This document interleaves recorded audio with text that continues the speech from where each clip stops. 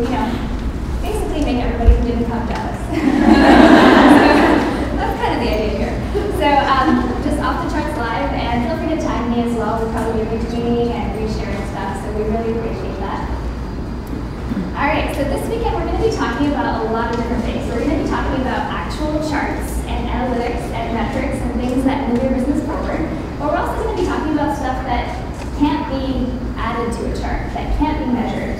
And that's kind of that internal stuff that you're going to learn about that makes the biggest difference, really, because at the end of the day, we can all be in front of our computers, but that's not what's really going to make that big impact in the world that we all want to make.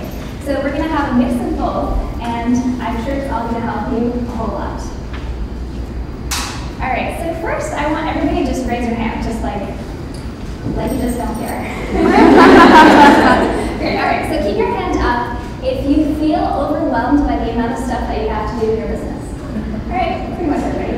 Um, so if maybe you're not inspired by your business, or there's something that's just not so fun right now, okay. And then if you have too many ideas, it's kind of the opposite problem, right? if you have too many ideas, great. And then if you aren't sure which order of things that you should be doing, yeah, okay. A lot of people are like, like that's me. All right, and then maybe if there's a mismatch between the vision that you can see and kind of those details that you need to be doing. Okay, I know. Okay, great, perfect. Thank you so much. All right, so we're gonna help all of these things this weekend. So you're in the right place. This is awesome. So the first thing I'm going to talk about is, since all of us had our hands up and we said overwhelm, is uh, really what causes overwhelm and procrastination. Really what it comes down to is having this sense of urgency, like I really need to get this specific thing done, but I don't know where to start. I don't know what the first step is. And that can cause so much overwhelm and anxiety and like sleepless nights, trust me, I know. so um, we're really going to break it down today and we're going to help you over, over the whole weekend really figure this out for you guys in your business. So most people, when they think about you know growing their business, they think of this like straight upward trajectory, right? And you're like, yes, okay, I'm to start point A, I'm to get to point B, it's to be awesome. And really, it kind of looks a little bit more like this. I don't know about you, but I've definitely had this experience where it's one step forward, two steps back, maybe do a loop. There's all kinds of stuff in there. So um, we're going to talk about a better model today, and I can't wait to share it. So I know there's a couple men in here, but as you can tell, it's mostly women. and I think a lot of the models that we learn about in business and, you know, pretty much all the marketing stuff and all the business building stuff that we learn is very, kind of comes from the male world. And for them, this whole straight path, you know, I'm super focused, point A to point B kind of works for them. But for us as women, we're actually a little bit more cyclical. We have like a cycle, you know, we have different seasons in our lives. And I think that we should be using kind of model to run our businesses as opposed to trying to push through certain things. So that's why I wanted to introduce to you the staircase model, so the spiral staircase. So as opposed to a straight up the stairs type of model, we're actually going to go around in circles, which is actually very natural to us as women. So it's not like a, oh no, we're going around circles in a way. It's actually a good thing. So actually, when I came up with this model, I've been using it for a couple of years myself, but I finally realized that this is actually the missing piece for so many of us as women business owners. And what I realized is we actually had a spiral staircase in my house growing up, and I never put the two and two together until I was making this presentation. So my mom was so worried that I would fall through the spiral staircase. So uh, maybe there's some sort of parallel with that when we're building businesses, because we're like, well, I'm so used to going straight, like what if I fall off the edge, right? So this whole concept of the spiral staircase is that we have these same steps that we're going to be, you know, following throughout our businesses, and they can be the exact same steps model, but we're just going through it over and over again, and each time we have a different perspective. So I'm going to use the example of web design. So I started making websites when I was 12 years old, so very technical, very young, and I ended up uh, designing the website for my high school, and then I ended up getting a couple of web design clients, you know, in high school. So that was my first kind of official business, if you will. and what I realized is that, you know, I wasn't very good at client management, but I was okay with the technical stuff and the design stuff. But then when I was 24, after I started my first business, which was Frost and if you guys don't know about it, um, happy to share the link with you after. but basically, I found myself designing websites all over again. And I was like, man, I'm back in square one. I'm like 12 years old again. What's happening? And what ended up happening is that I was just on this spiral staircase. So it wasn't that I was back to square one, it's just that I was back to a similar space, but with a whole different perspective. I had so many years of experience doing all kinds of other technical things, all kinds of interpersonal stuff, relationship stuff, and that was so useful and it brought so much to that business. And it really helped me to grow that business and make it successful as well. So I really want you to think about, is there something in your life that you might be experiencing right now that you're like, oh, like I'm stuck. Like I keep doing the same thing over and over again. Like what's wrong with me? It, it might not be a bad thing. It might actually be the spiral staircase in action.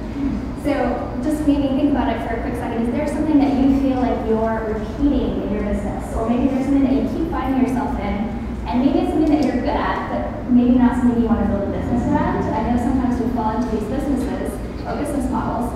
So it's good to just kind of be aware of that. All right, so this is kind of what I envision as this path towards success. And it's a spiral that does go in the right direction, and it's just not as direct necessarily.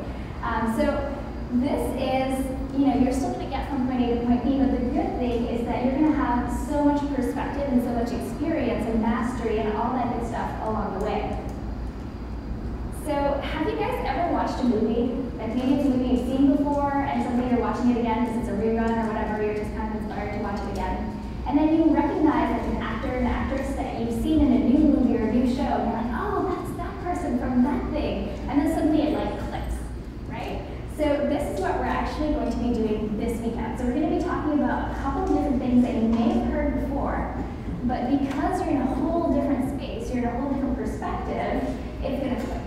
So this is really what I want you guys to take away from this weekend is that, you know, come to it from a beginner's mind and come to it expecting to see some stuff you may have seen before, but also that you're going to be able to really take it at a different level because you're already at a different level. You've had so much different experiences. And I know you're all along the spectrum, so some of you are starting out, some of you are more experienced, um, but that's totally cool and it's totally going to help. So the next time you hear this information, you'll be in a different place as well. All right, so the spiral staircase is really going to help with so many different things in your life and in your business. So first of all, it helps with the whole what should I do next piece, right? So we're going to totally address that. It also disarms perfectionism. I don't know if anybody else is a perfectionist, but we all have that. The good thing is when you're on the spiral staircase, you're going to come back to it, right? So you don't have to like make it super perfect and never touch it again. You're going to be back. Um, the other thing too is that you don't need to know the whole path. So when you think of a spiral staircase, you can't see around the corner, right? But if you look up, you know where you're going. So you don't have to have everything figured out to get there. Just take it one step at a time. And the other thing is that you know it definitely helps continuously improve your skills and whatever it is that you're doing in your business, you're just going to keep that getting better over and over again. And it also keeps you from getting bored. I don't know if anybody else has that, but I have a little restlessness sometimes in my business. So, all right. So the other thing is that the spiral staircase is a bit of a fractal. So there's a spiral within the spiral within the spiral within the spiral. So you have your business itself, which is a spiral. You have your website. So you're probably going to come back and redesign your website. You're probably going to come back and change stuff on your website. Then you also have your website copy, your products. All of those evolve as you evolve as well and they're also going to be on that spiral. All right, so there are essentially nine steps to this spiral, and we're going to go through them. All right, so I'm going to go through them in more detail, but I'm just going to outline them so you can take notes if that's useful for you. So the first one is to just get clear on your why and to get confident about what it is that you're doing. So you can think about it from, you know, about your entire business, or you can think about it from this next project that I'm doing totally up to how you want to use this framework. It's very, very flexible. All right, number two is get clear on the who. So obviously a business is not operating in a vacuum, so it's important to know who it is that you're working with, who is on your team, who it is that you're operating or you know, doing business with. Number three is create offers and then test the value and pricing. So you might have noticed some of these things might feel like, oh, maybe I should do this first, maybe I should do that first. But this whole thing is about helping So step three, step four is make sales and get feedback.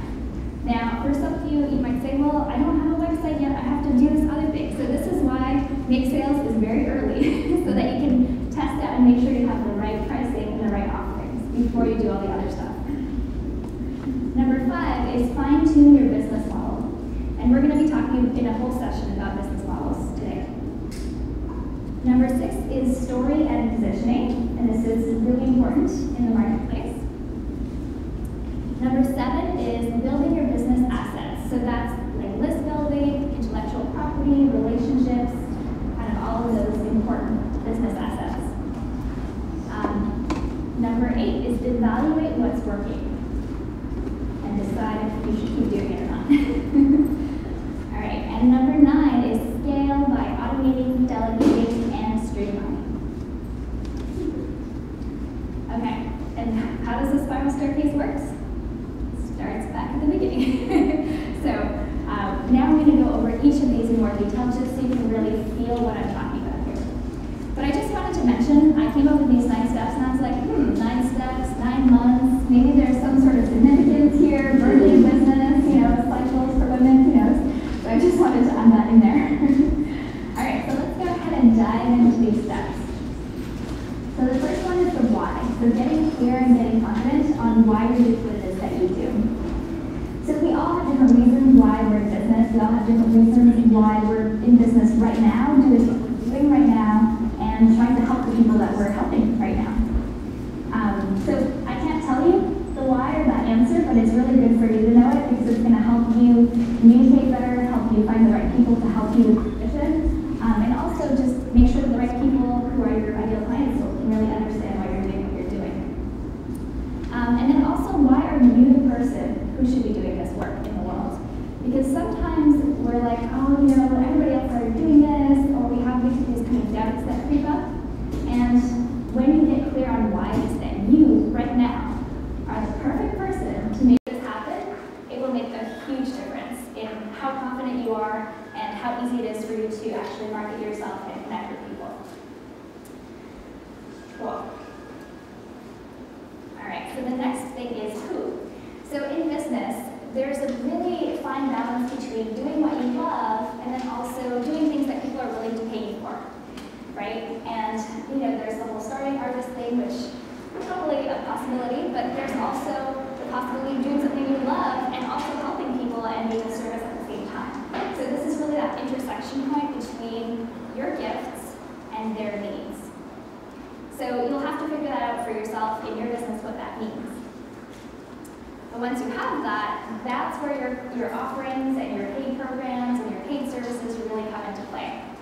So this is all about getting the value equation right. So what are people willing to pay for what it is that you're creating? And what you really want to create is a situation where people feel like they're getting such a steal, like, oh my God, they cannot believe they're getting it at this price and at the same time that you're able to deliver it in such a way that you're still making a profit, right? So it has to feel like, wow, like I'm making so much profit, like I want to do this all day. So this is the exact same formula that you want to use when you're pricing anything in your business. Make sure that it feels really good for them, that they're getting all the value, um, all the benefits that they're really looking for, and then also that you're feeling like, oh yes, I just want to sell this all the time because it's, it's awesome. Great. So the reason I put this uh, at this step is because you really want people to um, actually put cash down. So if they're not willing to pay you for it, viable product or program or offering. Did my audio just disappear? um, you can still hear? Okay, half. Hmm, okay, great. All right. Well, it seems like it's back now, right? Okay, good. So, okay, so that's that's really what it's all about. So I want really to emphasize that you want to be making sales early you know if it's a viable product or program or business, so that you're not waiting and just saying, oh, everybody says they love my idea, but when you actually ask them to pay for it, they're like, oh, I'm too busy, or I can't afford it, or you know, whatever. You don't want that to happen. So this is why this is so early on in this step. All right, so now we have, oh, did I already say that? Okay, bring in sales, sorry. So this is the next step, but it totally follows from having the offers that have the right price. So yeah, so this is really all about bringing in the money for your offerings and making sure that people aren't willing to give you that money for it. And you know, a lot of times we're like, oh, I need to do a huge launch. We're going to talk about launches tomorrow. Um, but really, sometimes it's all about that one-on-one that you can have with somebody. And if they're like, yes, I believe in you, I believe in your product, I believe in the value that you're offering, they're going to say yes. And you don't need the fancy website and the like crazy videos and shopping carts and all these things. You can really get started started um, kind of that bootstrapping way, which is really, really helpful for your business as it's growing. All right. So now this is where you design your business model. So you've made a couple sales, you're like, okay, I'm, I'm on track, things are moving forward. Now it's time to think about that big picture and how everything really fits together. So your business model, is it scalable? Is it something that you're feeling really comfortable and good about? Is it something that serves the number of people that you're out to serve in the world? Those are all some key questions that you want to be asking about your business model. And we're going to have a whole session about business models, so don't feel like, I don't know how to answer that. It's totally cool. It's just to know which order to be doing things in. All right. Oops. All right, so now we want to um, write your story and position yourself. So this is really huge, especially if you're in a crowded marketplace or if people don't really understand what it is that you do. It's important to be able to communicate why you're doing what you're doing, why you're that person who should be doing it, and also your story. So what brought you to where you are today? Because as human beings, we want to do business with other human beings, not with these kind of faceless corporations, right? So I think that's a really important piece is being able to write your story and also to be able to position yourself in the marketplace and to say, you know, this is me, that is not me. And this is me and I am not this. And we're definitely going to talk more and there's some speakers who are going to do stuff about this a little bit later um, this weekend. So the next thing is to build business assets. So I see so many people jump to this point, and this is why I have it kind of later on in this cycle. And you know, I have the 30 day list building challenge, so of course everyone's like, oh great, like let's build my list. But if you don't have the other steps first, it's really hard to build a list with the right people.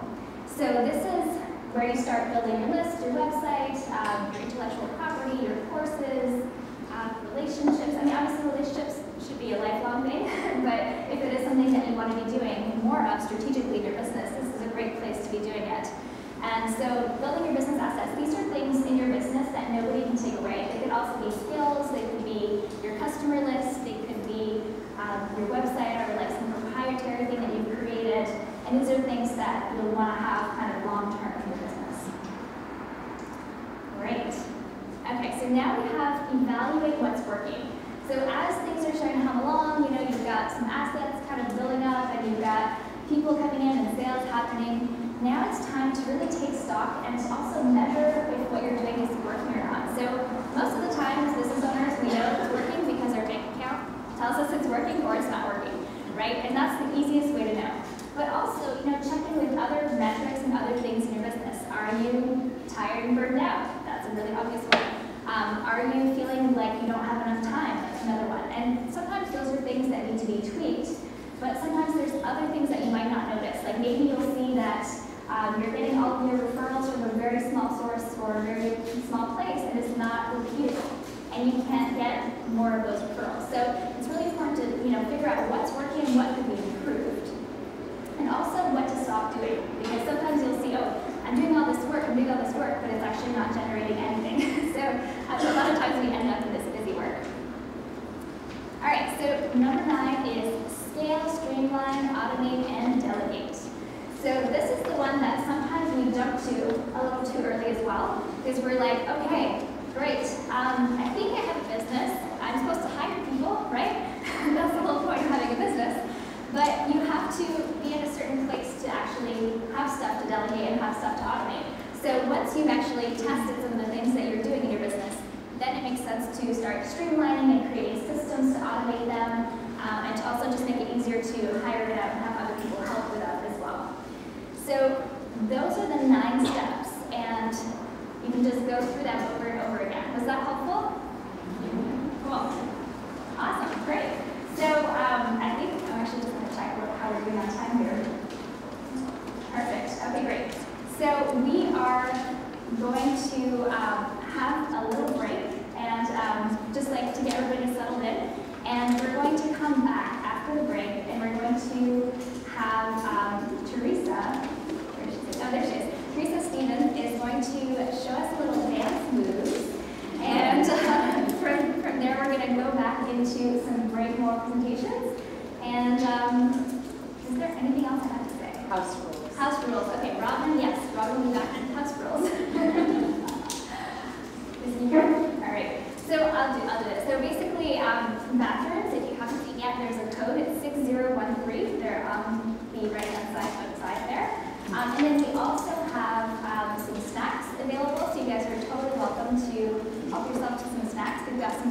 sponsors that